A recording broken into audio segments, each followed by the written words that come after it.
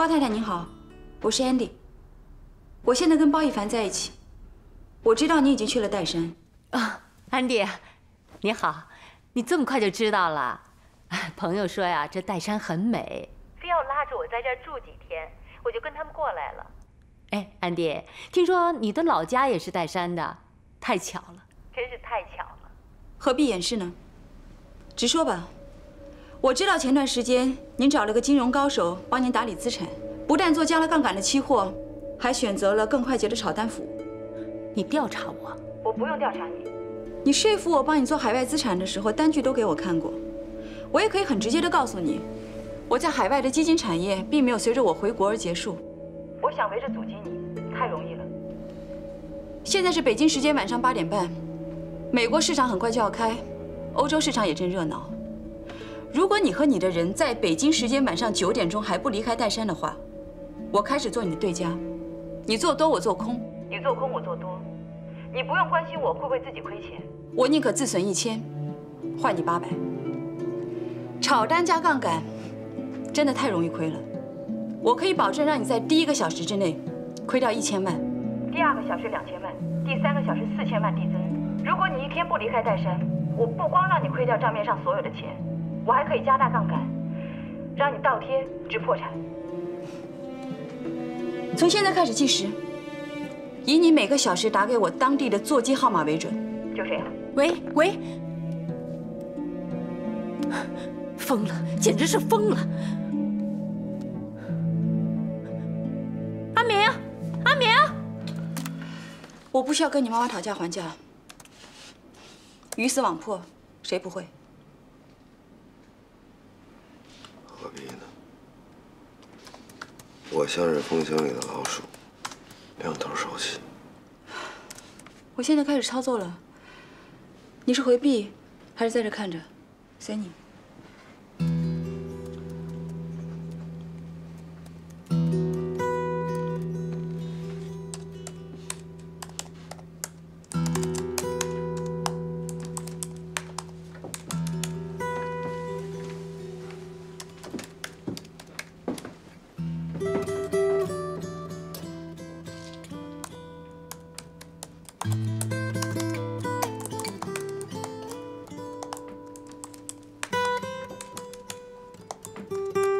Don't worry about it. Just do it. Yeah? Thank you. Bye.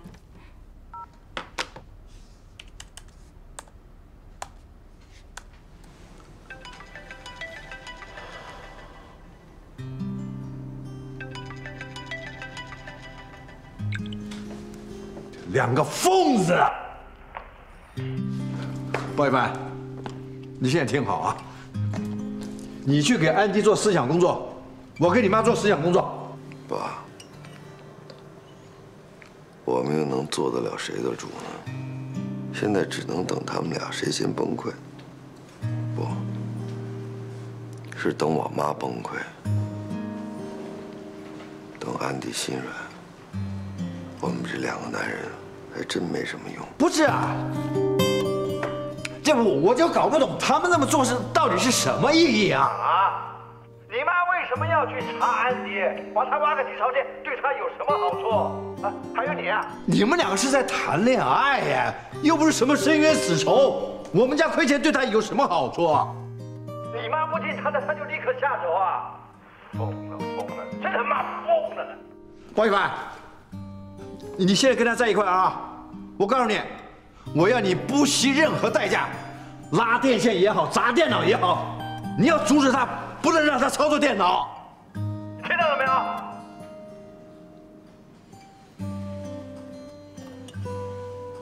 你回话呀你！我还真做不了这主。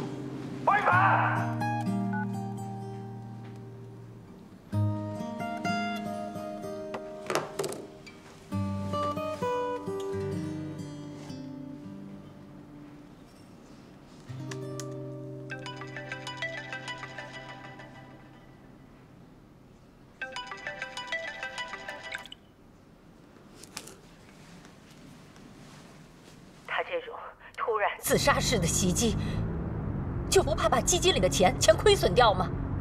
到时候没办法跟投资人交代。妈，别闹了。投资收益是按年计算的，就算您这边亏了本，安迪其他投资项目只要能赚平，就没有问题。这种事儿，你女朋友都能干得出来，她还想不想进包家的门？包家在他眼里就算是个屁。你，你不是在他身边吗？难道你管不了他？你们俩别合起伙来给我演戏！别给我演戏！我在包家眼里，也就是个屁。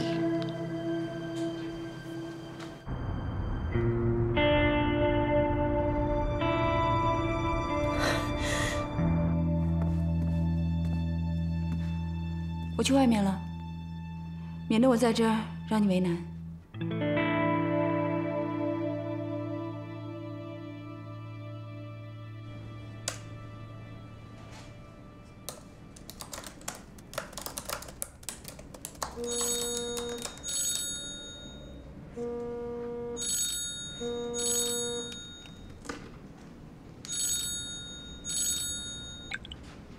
喂，你现在跟包奕凡正在交往，你怎么一点都不顾及他的损失？我顾不了。你的手太长，您再次挑战我的底线。你不是最在意钱吗？你一个小姑娘，你心思怎么这么狠？你有你在意的东西，我有我在意的东西。面对你的步步紧逼，我也没有别的办法。今天晚上我会盯着你，直到你离开岱山，回到你的家里。没错，你现在电话号码显示你还是在岱山。我一时还离不开这个地方，所以固定电话和区号不能变了。我已经是在回去的路上了。啊，要不然我一会儿拍一下高速服务站的照片给你。好，现在不到十一点，十二点之前我等你电话。等等，你说，我作为母亲。想了解儿子女朋友的家庭情况，这是天经地义的事。我不能理解你为什么这么敏感，这么疯狂。你也应该清楚，经过今天的事，我是绝不允许你再进包家的门。请你不要搞错了，你以为包奕凡爱你，就会站在你这边？他姓包，你伤害了包家，就是伤害了他。我知道，我已经做好了包子会跟我分手的准备。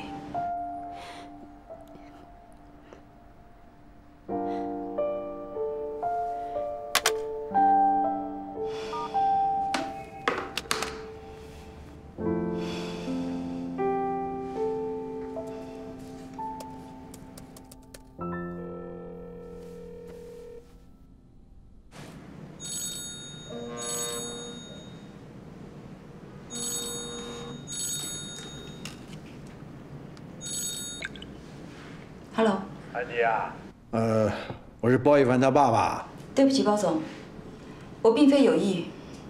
对于包氏的损失，我只能说抱歉。这究竟是怎么回事啊？啊？你怎么会？非常的不愿意包太太一再的干扰我的生活。起初她以为我是魏国强的情人，跑到我工作的地方大闹，然后她不顾我的个人名誉，在这个圈子里胡乱打听。接着他又想利用我和魏国强的关系，完全不顾我的个人感受。我提出过抗议，但是没有结果。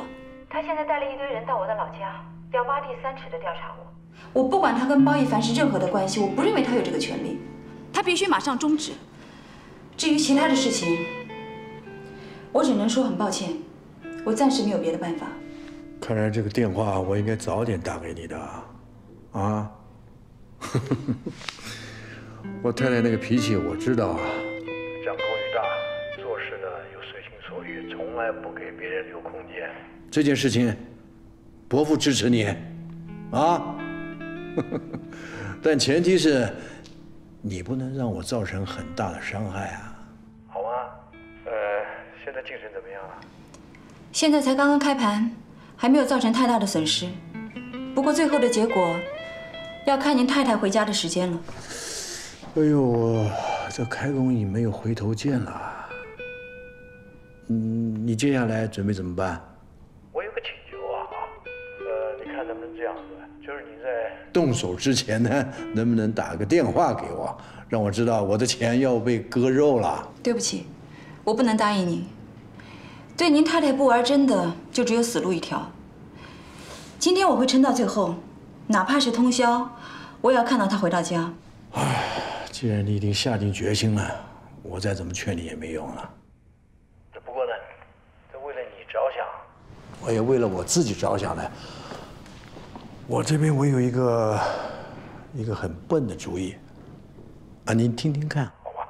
那比方说呢，你已经知道我太太已经走出四个小时的路程了，那你就可以关掉手机，休息三个小时。那这个期间呢，我会帮你盯着，反正她三个小时也回不到原点，也变不出幺蛾子。等你养足了精神，啊，你再继续盯着，啊，汇报行程，两不耽误。怎么样？您的建议我会考虑的。那有缘的话，以后还是一家人啊，需要共同面对类似的问题，还会出现的。伯父这方面的经验是比你充足了一些啊啊！那个安迪，手下留情。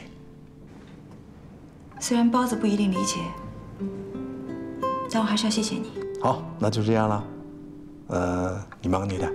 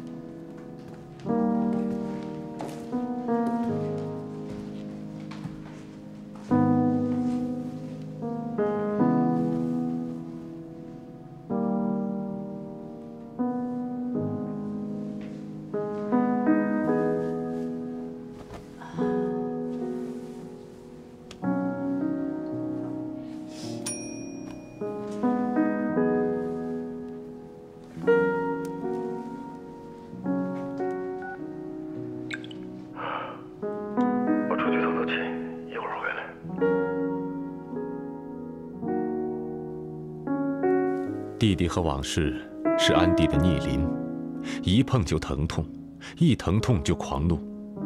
等包太太被包先生接管过去了，安迪的恐惧才渐渐散去。